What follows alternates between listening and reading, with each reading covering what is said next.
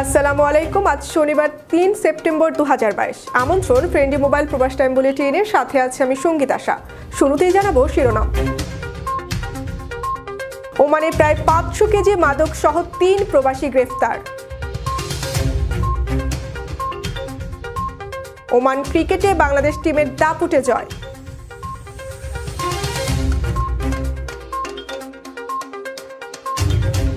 দুবাইতে স্বর্ণ ব্যবসায় নতুন দিগন্ত উন্মোচন করতে চায় বাংলাদেশিরা। আকাশে লবণ ছিটিয়ে বৃষ্টি নামালো আমিরাত।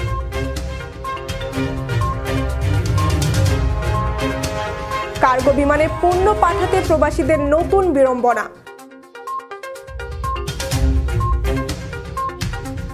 মালয়েশিয়ার আদালতের সহকর্মীকে হত্যার দায় স্বীকার করল প্রবাসী বাংলাদেশি। প্রবাসীর স্ত্রীর নগ্ন ভিডিও ফেসবুকে ছড়িয়ে দেওয়ার অভিযোগে যুবক গ্রেপ্তার।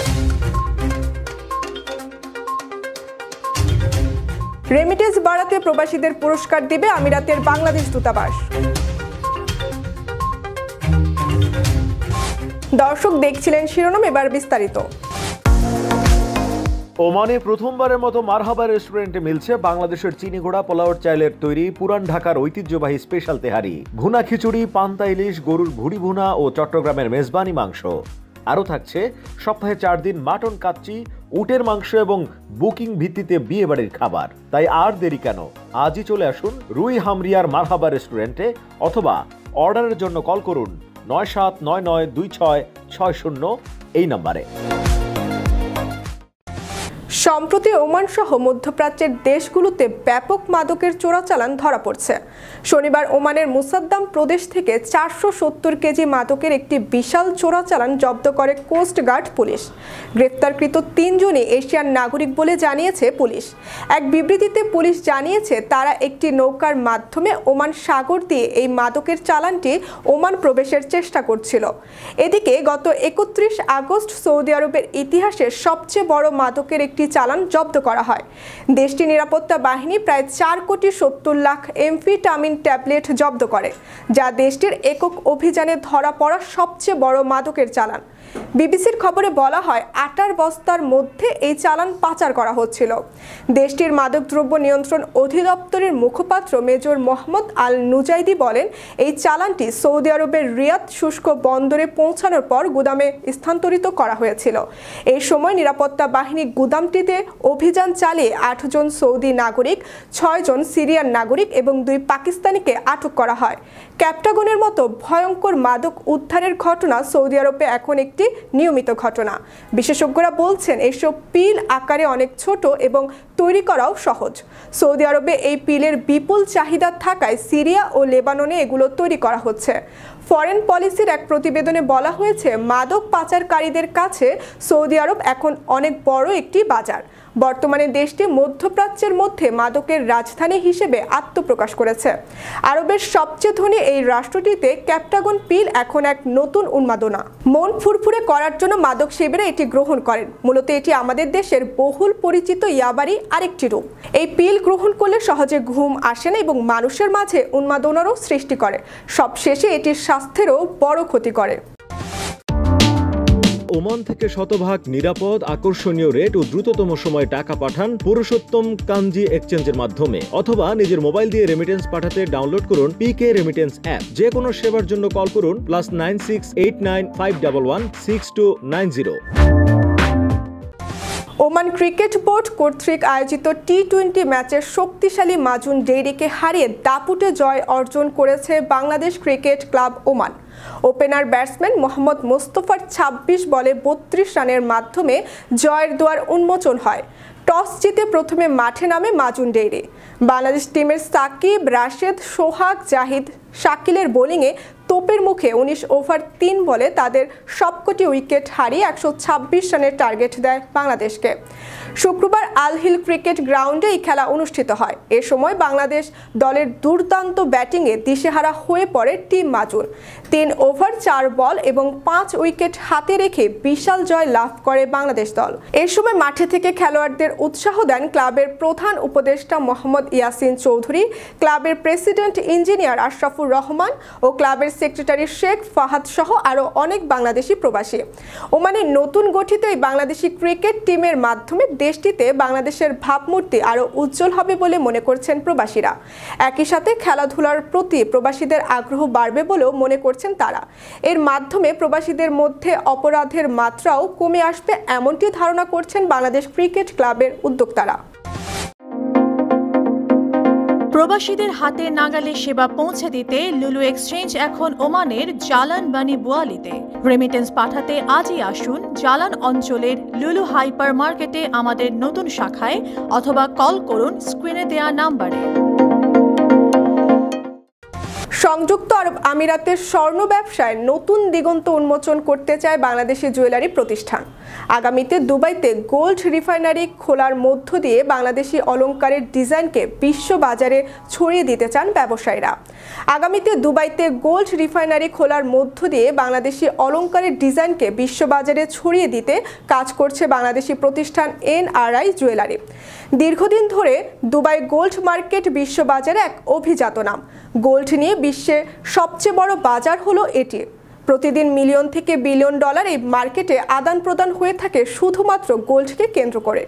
একসময় বাংলাদেশিরা এই মার্কেটের ছোটোখাটো ক্রেতা হলেও বর্তমানে তারা নিজেদের বিক্রেতায় পরিণত করছে। গত এক বছরে হিসেবে দেখা যায়, অসংখ্য বাংলাদেশি বিশাল অঙ্কের বিনিয়োগের মাধ্যমে গোল্ডের শোরুম প্রতিষ্ঠা করছে। একটি নতুন দিগন্তের উন্মোচন হতে যাচ্ছে এই স্বর্ণ ব্যবসায়। এই ব্যবসায় যে বাংলাদেশিরা সাফল্য অর্জন করতে পারে, তার একটি উৎকৃষ্ট উদাহরণ আজকে রচিত হলো। আসলে এটা আমাদের আরও আগেই ওপেনিং করার কথা ছিল। তো আজকে ওপেনিং হয়েছে এনআরআই জুয়েলারি। ওনাদের আগেও একটা শপ আছে এবং এটা আজকে গোল্ডেন সুক মরিয়ম প্লাজা নতুন একটা শাখা করেছেন। তো ভালো লাগছে এবং আশা করব যে সবাই এখানে আসবেন ডেফিনেটলি ভিজিট করবেন এবং শপিং করবে। আমার কাছে মনে হয় যে এটা বাংলাদেশের জন্য গর্ব যেন বাংলাদেশি একটা সোনার দোকান এখানে ওপেন করল এনআরআই যেটা নাকি আমাদের সকলের জন্য সকলেই গর্ব। সব জায়গায় আমাদের রিপ্রেজেন্টেশন আছে সোনার মার্কেটেও আমাদের রিপ্রেজেন্টেশন শুরু হলো আজকে থেকে।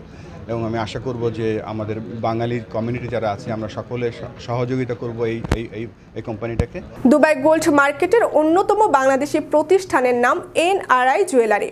গত এক বছরে এই প্রতিষ্ঠানে কর্মসংস্থান হয়েছে প্রায় পঞ্চাশ জন বাংলাদেশির। আগামী এক বছরে আরও একশো জন দক্ষ বাংলাদেশি স্বর্ণ কারকার এই প্রতিষ্ঠানে নিয়োগ দেওয়া হবে বলে জানিয়েছেন প্রতিষ্ঠানের কর্মকর্তারা। বর্তমানে তিনটি অভিজাত শোরুম নিয়ে এনআরআই জুয়েলারি গোল্ড মার্কেটে বাংলাদেশি পতাকা বহন করলেও অচিরে রিফাইনারি খুলে বাংলাদেশি কারুকারদের দক্ষতা বিশ্ব বাজারে ছড়িয়ে দিতে চায় এই প্রতিষ্ঠানটি। আসলে আমরা চেষ্টা করব ইনশাল্লাহ কাস্টমারদের মন জয় করে ব্যবসাকে আগে নিয়ে যাওয়ার জন্য। চেষ্টা করব আমরা আরও দু একটা ব্রাঞ্চ করার জন্য। গোল ব্যবসাটা আমরা বেছে দিয়েছি। আলহামদুলিল্লাহ বেছে নেওয়ার পর থেকে আমরা প্রবাসী যারা আছে সবাই আমাদেরকে সহযোগিতা করছে। এখানে অনেক জুয়েলারি দোকান আছে। আমাদের বাংলাদেশিরা যদি এক একটা মানুষ একশো গ্রাম যদি স্বর্ণ কিনে আমাদের থেকে যদি দশ গ্রাম করে কিনে আমরা অনেক কিছু অনেকটা এগিয়ে যেতে পারব। তো আমরা আশাবাদী বাংলাদেশিরা যদি আমাদের থেকে আমাদের দোকানে আসে আমাদের দোকানে এসে ভিজিট করে যায়, তারপরও আমরা মনে করি যে আমরা অনেক অনেকটা আগাইতে পারব, বাংলাদেশিরা এই সাপোর্টেও প্রবাসী বাংলাদেশিরা জানিয়েছেন, গোল্ড মার্কেটে বিনিয়োগ একটি সাহসী উদ্যোগ প্রবাসীদের। তাছাড়া যে হারে সংযুক্ত আরব আমিরাতে বিভিন্ন ক্ষেত্রে বিনিয়োগ হচ্ছে, তা অত্যন্ত ইতিবাচক দিক। এর ফলে বাংলাদেশের রেমিটেন্স প্রবাহ বৃদ্ধি পাবে, পাশাপাশি কর্মসংস্থানেরও সুযোগ হবে ব্যাপক। বিশ্বের নামি দামি ব্র্যান্ডের কসমেটিক্স পণ্যে বাংলাদেশিদের জন্য পাঁচ পার্সেন্ট ডিসকাউন্ট দিচ্ছে ওমানের হাইলাইন বিউটি শপ। অর্ডারের জন্য কল করুন, স্ক্রিনে দেয়া নাম্বারে। মধ্যপ্রাচ্যের দেশগুলোতে সাধারণত কম বৃষ্টি হয়। দেশগুলোতে বৃষ্টির ঘটনা খুবই বিরল। মরুভূমির দেশটির আকাশে প্রচুর মেঘ তৈরি হলেও তাপমাত্রার কারণে সেই মেঘ বৃষ্টি হয়ে ঝরার আগেই বাষ্প হয়ে উড়ে যায়। এই সমস্যার সমাধানে ক্লাউড সিডিং পদ্ধতি অবলম্বন করছে সংযুক্ত আরব আমিরাত কর্তৃপক্ষ।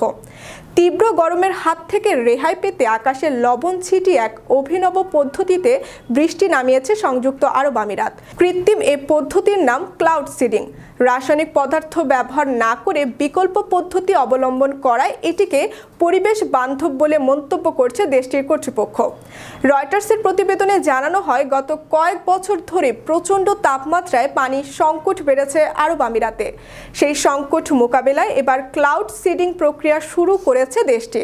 মূলত মেঘের মধ্যে রাসায়নিক পদার্থ ছড়িয়ে কৃত্রিমভাবে বৃষ্টিপাত ঘটানো হয় এই প্রক্রিয়ায়। তবে রাসায়নিকের পরিবর্তে লবণ ব্যবহার করছে আরব আমিরাত কর্তৃপক্ষ। এক্ষেত্রে বিমানে করে ফ্লেয়ারের মাধ্যমে মেঘের মধ্যে লবণ ছিটানো হয়েছে। লবণে থাকা সোডিয়াম ও পটাশিয়াম ক্লোরাইড মেঘের সঙ্গে বিক্রিয়া করে পরিণত হয় বৃষ্টিতে। এ প্রক্রিয়ার ফলে আগের চেয়ে বৃষ্টি বেড়েছে বলে জানিয়েছে কর্তৃপক্ষ। এ বিষয়ে কর্তৃপক্ষ বলেছে, মেঘে লবণ ছিটানোর মাধ্যমে আগের চেয়ে এখন প্রায় ত্রিশ শতাংশ পর্যন্ত বেশি বৃষ্টি হচ্ছে। এদিকে চট্টগ্রামের লোহাগাড়ায় মোনাজাতের মাধ্যমে অলৌকিকভাবে বৃষ্টি নামিয়েছেন মুসল্লিরা। গত পহেলা সেপ্টেম্বর সকাল সাড়ে দশটার দিকে আধুনগর ইসলামিয়া ফাজিল মাদ্রাসার মাঠে বৃষ্টির জন্য ইস্তেখারা নামাজে জড়ো হয়েছিলেন মুসল্লিরা। আর সেই নামাজ আদায়ের কিছুক্ষণের মধ্যেই নেমে আসে বৃষ্টি। এ সময় সবাই একে অপরকে জড়িয়ে ধরে কান্না করতে দেখা যায়। প্রতিনিয়তই পদে পদে ভোগান্তির শিকার হচ্ছেন দেশের অর্থনীতিতে বিশেষ ভূমিকা রাখা রেমিটেন্স যোদ্ধারা। এবার তাদের ভোগান্তিতে নতুন করে যোগ হয়েছে কার্গো বিমানে পণ্য পাঠানোর বিড়ম্বনা। ওমান, কুয়েত সহ মধ্যপ্রাচ্য থেকে প্রবাসীরা বিভিন্ন সময় দেশে প্রিয়জনের জন্য নিত্য প্রয়োজনীয় পণ্য পাঠিয়ে থাকেন আগে অল্প সময়ে কম খরচে পণ্য পাঠাতে পারলেও বর্তমানে গুনতে হচ্ছে বেশি টাকা আর সময়ও লাগছে অনেক। আগে অল্প খরচে তিন থেকে চার দিনের মধ্যে কুয়েত থেকে মালামাল পাঠানো গেলেও বর্তমানে পনেরো থেকে বিশ দিন সময় লাগছে। সেই সাথে খরচও অনেক বেশি এখন, এমন অভিযোগ কুয়েত প্রবাসীদের। এদিকে করোনার সময় আকাশ ও নৌপথে যোগাযোগ বন্ধ থাকায় প্রবাসীদের অনেকেই কার্গো সেক্টর থেকে ব্যবসা গুটিয়ে নিয়েছেন। এতে এই সেক্টরে কর্মরত অনেক প্রবাসীর আয়ের পথ এখন বন্ধ। সঠিক তদারকির অভাবে হুমকির মুখে প্রবাসীদের কার্গো সেক্টর। ওমান থেকে একাধিক প্রবাসী জানিয়েছেন, বছর পার হলেও তাদের মালামাল পায়নি পরিবার। চলমান এসব সমস্যা থেকে মুক্তি পেতে জরুরি ভিত্তিতে ব্যবস্থা নিয়ে সরকারের প্রতি দাবি জানিয়েছেন কুয়েত প্রবাসী কার্গো ব্যবসায়ীরা। কুয়েত প্রবাসী কার্গো ব্যবসায়ী ওয়াসিম বলেন, গ্রাহক পণ্য পাচ্ছে দেরিতে, পনেরো থেকে বিশ দিন লাগছে। মালামালের জন্য বিভিন্ন কার্যালয়ে দৌড়াতে হচ্ছে। প্রবাসীরা যেন সহজে বাংলাদেশে মালামাল পাঠাতে পারে, এজন্য বাংলাদেশ সরকারের কাছে দাবি জানিয়েছেন প্রবাসী কার্গো ব্যবসায়ীরা। একই সাথে কার্গোর ব্যাপারে সুনির্দিষ্ট নীতিমালারও দাবি জানিয়েছেন তারা। ওমানে স্পন্সর ছাড়া নিজস্ব মালিকানায় ব্যবসা করার দারুণ সুযোগ। মাত্র এক হাজার পঞ্চাশ রিয়ালে নিজের নামে লাইসেন্স, সাথে একটি ইনভেস্টর ভিসা ফ্রি। যোগাযোগ করুন স্ক্রিনে দেয়া নম্বরে। মালয়েশিয়ার স্বদেশী এক সহকর্মীকে ছুরিকাঘাতে হত্যার দায় স্বীকার করেছেন মোহাম্মদ ইমরান মিয়া নামের এক প্রবাসী বাংলাদেশি। শুক্রবার দেশটির এক ম্যাজিস্ট্রেট আদালতে প্রাথমিক শুনানিকালে হত্যার কথা স্বীকার করেন তিনি। গত একুশ আগস্ট সহকর্মী শফিক আলমকে হত্যা করেন মোহাম্মদ ইমরান মিয়া। হত্যার পরই পুলিশের হাতে আটক হন তিনি।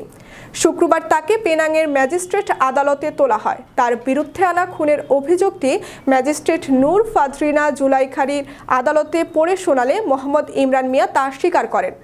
দোষী সাব্যস্ত হলে মালয়েশিয়ার আইন অনুযায়ী ইমরান মিয়ার মৃত্যুদণ্ড হতে পারে। জানা গেছে, নিহত শফিক দীর্ঘ দশ বছর ধরে মালয়েশিয়ায় অবস্থান করছিলেন। গত মাসে তিনি নতুন করে পেনাং এয়ারপোর্টের পরিচ্ছন্নতা কর্মী হিসেবে কাজে যোগদান করেন। এখানে আগে থেকেই কাজ করতেন ইমরান মিয়া। ঘটনার দিন শফিক ও ইমরান নাইট শিফটে কাজ করছিলেন। এদিন তারা রাতের খাবারের জন্য এয়ারপোর্ট থেকে বাসার দিকে রওনা হন। এ সময় তাদের মধ্যে কোনো একটি বিষয় নিয়ে বাক বিতনটা শুরু হয়। কথা কাটাকাটির এক পর্যায়ে শফিকের পেট ও হাত মুখের বিভিন্ন অংশে ছুরি দিয়ে এলো পাতারি আঘাত করেন ইমরান। সামাজিক যোগাযোগ মাধ্যমে প্রবাসীর স্ত্রীর সাথে সম্পর্ক। এরপর ভিডিও কলে আপত্তিকর কথাবার্তা বলে ব্ল্যাকমেইল করার অভিযোগে এক যুবককে গ্রেফতার করেছে পুলিশ। জানা গেছে, ফেসবুকের মাধ্যমে প্রথমে পরিচয় হয়। এরপর ইমুতে নগ্ন হয়ে কথা বলেন রাজবাড়ী জেলার একজন প্রবাসীর স্ত্রী। পরবর্তীতে উক্ত ভিডিও সামাজিক যোগাযোগ মাধ্যমে ছড়িয়ে দেওয়ার অভিযোগে ওই গৃহবধূ বাদী হয়ে একত্রিশ আগস্ট সকালে পর্নোগ্রাফি নিয়ন্ত্রণ আইনের রাজবাড়ী থানায় একটি মামলা দায়ের করেন। মামলায় চট্টগ্রামের হাট হাজারি থানার পূর্ব গুমান মর্দন গ্রামের আনোয়ার হোসেনের ছেলে মোহাম্মদ রিয়াজ উদ্দিনকে আসামি করা হয়। ওই গৃহবধূ জানিয়েছে, তার স্বামী বিদেশে থাকাকালীন সময়ে তিনি রিয়াজের সাথে ফেসবুক মেসেঞ্জারে কথাবার্তা বলা শুরু করেন। এক পর্যায়ে রিয়াজ কৌশলে তার ফেসবুক আইডির পাসওয়ার্ডও নিয়ে যায়। পরবর্তীতে ইমোতে ভিডিও কলেও তাদের কথা হয়। এক পর্যায়ে তিনি বিশ্বাস করে নগ্ন হয়ে ভিডিও কলে কথাও বলেন। তবে রিয়াজ তার সুকৌশলে ধারণ করে রাখে। পরবর্তীতে রিয়াজ তাকে কু কাজে মিলিত হবার জন্য বলে। এতে তিনি রাজি না হলে রিয়াজ ওই ভিডিও বেশ কয়েকটি ফেসবুক আইডিতে ছেড়ে দেয়। মামলার তদন্তকারী কর্মকর্তা ও রাজবাড়ী থানার এসআই মাহবুবুল আলম বলেন, ওই নারীর স্বামী সম্প্রতি দেশে ফিরে আসেন। বিষয়টি ওই নারী তার স্বামীকে অবহিত করেন।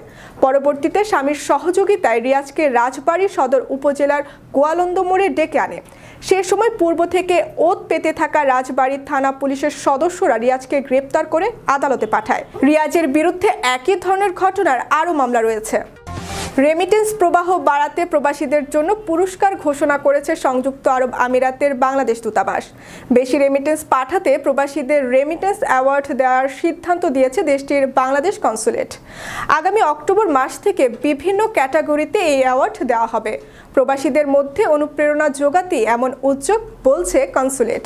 হুন্ডির মতো অবৈধ মাধ্যমে টাকা পাঠানো বন্ধ এবং বৈধ পথে রেমিটেন্স প্রবাহ বাড়ানোর লক্ষ্যে সংযুক্ত আরব আমিরাতের বাংলাদেশ দূতাবাস নানামুখী উদ্যোগ গ্রহণ করেছে। এসব উদ্যোগের ধারাবাহিকতা এবার পুরস্কার দেওয়ার সিদ্ধান্ত নেওয়া হলো। চলতি বছরের জানুয়ারি থেকে ত্রিশ সেপ্টেম্বর পর্যন্ত যারা বৈধ পথে রেমিটেন্স পাঠাবে, তাদের মধ্যে সর্বোচ্চ রেমিটেন্স প্রেরণকারীদের পুরস্কৃত করার ঘোষণা দিয়েছে দূতাবাস। এ ব্যাপারে বাংলাদেশ কনসুলেট দুবাইয়ের consul general B M Jamal Hossain বলেন, সর্বমোট পঁয়তাল্লিশ ব্যক্তিকে এই পুরস্কারের আওতায় আনা হচ্ছে। এর মধ্যে সাধারণ কর্মী, ব্যবসায়ী, সাংবাদিক সহ বিভিন্ন পেশাজীবী থাকবেন। বাংলাদেশ কনসুলেটের এই ঘোষণায় এরই মধ্যে প্রবাসী বাংলাদেশিদের মাঝে বেশ উৎসাহ দেখা গেছে। রেমিটেন্স অ্যাওয়ার্ডের জন্য এখন পর্যন্ত শতাধিক আবেদনপত্র জমা পড়েছে। আগামী ত্রিশ সেপ্টেম্বরের মধ্যে এই সংখ্যা কয়েক হাজারে উন্নীত হবে বলে ধারণা করা হচ্ছে। দর্শক, এই ছিল ফ্রেন্ডি মোবাইল প্রবাস টাইম বুলেটিনের আজকের আয়োজনে। প্রবাসের সর্বশেষ সংবাদ পেতে ভিজিট করুন W dot Probash time dot net subscribe করুন আমাদের ইউটিউব চ্যানেল এবং চোখ রাখুন ফেসবুক পেজে। পরবর্তী বুলেটিন দেখার আমন্ত্রণ জানিয়ে আজকের মতো বিদায় নিচ্ছি। আমি সঙ্গীতা শাহ। সেই পর্যন্ত সবাই ভালো থাকবেন এবং নিরাপদে থাকবেন। আল্লাহ হাফেজ।